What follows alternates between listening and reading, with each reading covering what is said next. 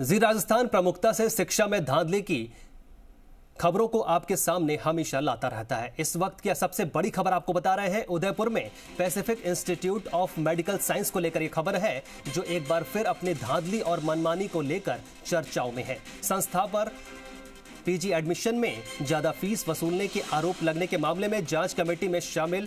गिरवा एसडीएम प्रतिभा वर्मा ने medical education department को अपनी जाँच रिपोर्ट भेजी है। इस पूरी खबर पर ज़्यादा जानकारी के लिए हमारे सहयोगी अविनाश जगनावत हमारे साथ जुड़े हुए हैं। अविनाश, ये बताइए, पैसिफिक इंस्टीट्यूट पर एक बार फिर ज़्यादा फ़ीस वसूलने का आरोप लग रहा है?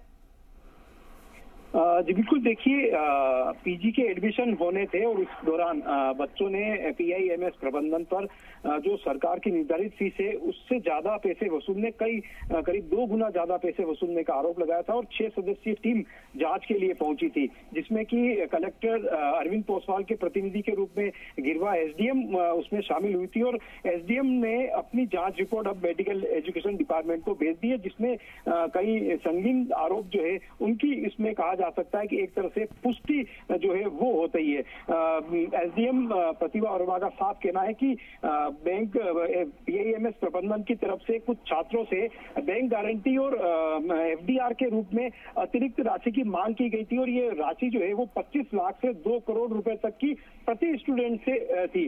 तो कहा जा सकता है कि मेडिकल कॉलेज में प्रवेश के गौरव धंधे का ये खेल है, किस तरह से इसमें स्टूडेंट के साथ में छलावा होता है, किस तरह से उनसे चौथ वसूली जो है वो की जाती है। करीब तेरह बच्चों की लिखित शिकायत थी जिनके तमाम बच्चों के बयान रिकॉर्ड किए गए थे और उसके बाद में पीआईएमएस प्रबंधन से जुड़े हुए लोगों के भी बयान जो है वो लिए गए।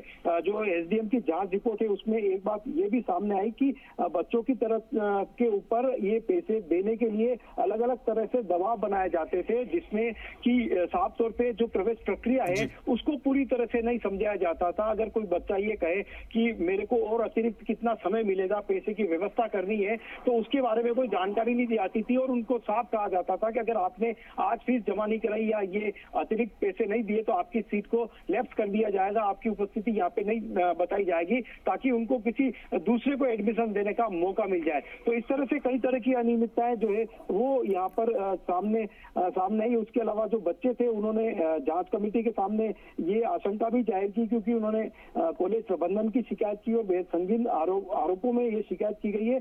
तो क्योंकि अगले दो से तीन साल तक उनको इसी कॉलेज में पढ़ाई करनी है उनके ऊपर अलीगढ़ दबाव बनाया जा सकता है। ऐसे में जाँच कमेटी ने मौखिक रूप से Pacific Institute of Medical Sciences के प्रबंधन को पाबंद किया है कि वो किसी भी तरह से स्टूडेंट के ऊपर अनैतिक दबाव नहीं अविनाश अगर उनको बना अविनाश आप हमारे साथ बने रहिए। आपको बता दें कि एसडीएम ने इस पूरे मामले पर एसडीएम प्रतिभा वर्मा ने इस पूरे मामले पर क्या कुछ कहा है आपको सुनाते हैं। तो इस पूरे फैक्ट की विस्तार में जाँच की गई थी और इसमें यह निकल के आया कि कॉलेज ने अपने डिस्क्रिप्शन से कुछ बच्चों से बैंक गारंटी ली थी, कुछ से नहीं ली थी और इसका कोई आधार उनके द्वारा नहीं बताया गया कि ये किस आधार पे बच्चों को एग्जामेशन दिया जा रहा है या बच्चों से बैंक गारंटी ली जा रही है। इसके अतिरिक्त ये भी अनियमितताएँ सामने आई कि बच्चों को जो भी छात्राएँ या छात्र आ रहे हैं, उनको किस समय में किन फॉर्मेलिटीज को पूरा किया जाना है? उनको, अगर उनके द्वारा थोड़ा समय मांगा जाता है इन फॉर्मेलिटीज को पूरा करने पे तो वो मना किया जाता है। और कई प्रकार से दबाव बनाने की कुछ कुछ स्थितियाँ सामने आई, जो हमने सारी जाँच रिपोर्ट में डाल दी है और अविनाश, ये बताइए, इस पूरे मामले पर क्या कहना है? पीआईएमएस प्रबंधन का आप क्या कहना है?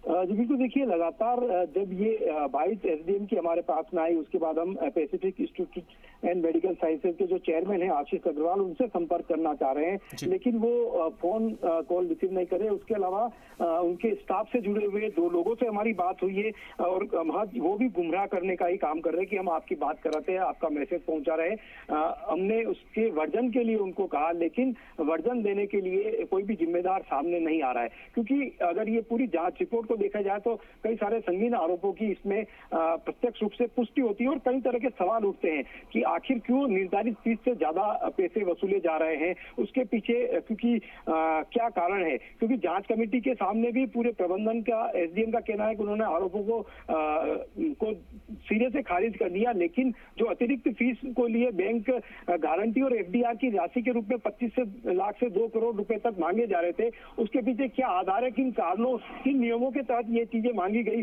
जब जाँच कमेटी ने भी ये सवाल पूछे तो उनका जवाब भी पीआईएमएस प्रबंधन के पास में नहीं था। तो इस तरह के कई सारे सवाल जो है, जिनका कि हम भी जवाब चाहते हैं कि आखिर क्या हर साल पिछले जितने सालों से पीआईएमएस में मेडिकल की पढ़ाई की जा रही है, ये तो पहली बार इस तरह से बच्चों ने हिम्मत दिखा के शिकायत की है। क्या इससे पहले भी इस तरह से बच्चों से अवैध रूप से फ़ीस वसूली जा रही थी? क्या बच्चों को प्रवेश के बारे में पूरी जानकारी नहीं दी जा रही थी, ताकि स्पेसिफिक पीआईएमएस जो प्रबंधन है, वो ज़्यादा से ज़्यादा लोगों से पैसे स्टूडेंट से वसूल पाए। इस तरह के कई सारे सवाल है, जिनका की जवाब हम भी चाहते हैं, लेकिन कोई भी जिम्मेदार कैमरे के सामने आने के तैयार नहीं है। ना ही कोई भी बात जो है, वो ऑफ़ रिकॉर्ड भी ये लोग करना चाह रहे हैं। जी।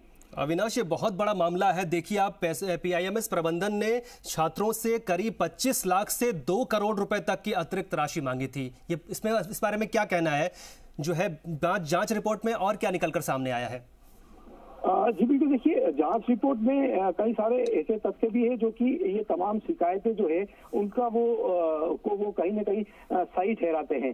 हालाँकि क्योंकि अभी पूरी जाँच जो है एसडीएम गिरवा की तरफ़ से मेडिकल एजुकेशन डिपार्टमेंट को भेजी गई है। वहाँ से जो टीम आई थी वो उस इस जाँच रिपोर्ट की को देखेगी। और उसके अलावा एक डिपार्टमेंट की तरफ़ से जो अधिकारी आए थे उनकी रिपोर्ट को देखा जाएगा और उसके आधार पर इस पर कार्रवाई की जाएगी। हालाँकि किस तरह की कार्रवाई होती है कि नियमों के तहत कार्रवाई होती है, ये बात भी हमने एसडीएम गिरवा से पूछी थी, लेकिन उनका ये कहना है कि उन्होंने जाँच रिपोर्ट भेजी है और उसमें जो भी तथ्य सामने आएँगे, उनके नियमानुसार कार्रवाई जो है वो की जाएगी। लेकिन कहीं ना कहीं उन्होंने ये ज़रूर स्वीकार किया है कि जो शिकायत आई थी, उसमें कहीं ना कहीं पीआईएमएस प्रबंधन ने प्रवेश प्रक्रिया के दौरान कई सारी खामियाँ जो है, वो इसमें सामने आई है और अनैतिक दबाव छात्रों के ऊपर बनाने का वहाँ पर प्रयास किया गया। ऐसी परिस्थिति अभी जाँच कमेटी के सामने आई है। लेकिन देखना होगा कि ये तमाम जाँच कमेटी किस तरह से आ, आ, इनकी रिपोर्ट आती है और क्या इनके खिलाफ कार्रवाई की जाती है। देखिए अगर एक बार आ, ये पूरी कमेटी मिलकर या डिपार्टमेंट सख्त कार्रवाई करता है तो इसके ज़रिए अन्य मेडिकल कॉलेजों को भी एक मैसेज दिया जा सकेगा कि अगर इस तरह से अनैतिक कार्य किए जाएँगे तो उनको बख्शा नहीं जाएगा और उनके खिलाफ भी सख्त कार्रवाई की जाएगी। कहीं ना कहीं अब जो जाँच रिपोर्ट है, उसका क्या निष्कर्ष निकल के सामने आता है, उस पर भी हमारी नज़र जो है वो रहेगी। लेकिन पीआईएमएस प्रबंधन तमाम इससे जुड़े हुए तमाम लोग हमारे सवाल से ज़रूर बचते हुए यहाँ पर नज़र आ रहे हैं। जी, जी। अविनाश बहुत बड़ा ये मामला है। देखिए आप जो आपको बता दें कि पीआईएमएस प्रबंधन जो है लगातार छात्रों से दबाव बनाता रहा है और प्रवेश के समय इसकी पूरी जानकारी स्टूडेंट्स को नहीं दी जाती है। स्टूडेंट्स इसको लेकर बेहद आहत होते हैं। बाद में उनसे पैसे की रकम मांगी जाती है अतिरिक्त पैसे की मांग की जाती है और उस पर दबाव भी बनाया जाता है। क्या कुछ कहना है? छात्रों का क्या कहना है इस बारे में?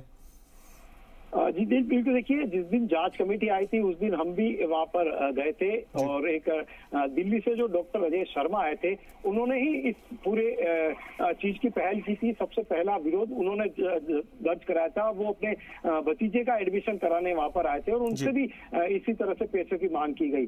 करीब उनकी अठारह लाख रुपए वो बता रहे थे कि हमारी फ़ीस थी और एक करोड़ पैंसठ लाख की डिमांड की गई। इन्होंने ही जो है शिकायत की थी। उनका कहना था कि तमाम लोग जो यहाँ पर आए हैं, उनसे करीब दो से तीन करोड़ रुपए जो है वो मांगे जा रहे हैं। एक स्टूडेंट से हमने बात की थी जो जिसका की काउंसलिंग करीब एक से डेढ़ महीने पहले हो गई थी, उसने अपनी फ़ीस जमा करा दी थी। वो भी जाँच कमेटी के सामने स्टूडेंट पेश हुई थी। उसने भी अपनी पीड़ा जताई कि मेरे को एडमिशन कंफर्मेशन नहीं दिया जा रहा है। ओरिजिनल डॉक्यूमेंट जो रख लिए हैं, वो मेरे को फिर से लौटाए नहीं जा रहे हैं। उसको डर था कि कहीं पीआईएमएस प्रबंधन उसका एक साल बर्बाद नहीं कर दे। तो कहा जा सकता है कि जो जो स्टूडेंट उनकी मांग को पूरा नहीं ठीक है अविनाश इस खबर पर जानकारी देने के लिए बहुत बहुत शुक्रिया आपका। तो आपको बता दें कि उदयपुर के पैसिफिक इंस्टीट्यूट का ये पूरा मामला है। लगातार ज़्यादा फ़ीस वसूली जा रही है छात्रों से। वक्त एक छोटे सा ब्रेक का है। ब्रेक के बाद भी खबरें लगातार जारी रहेंगी।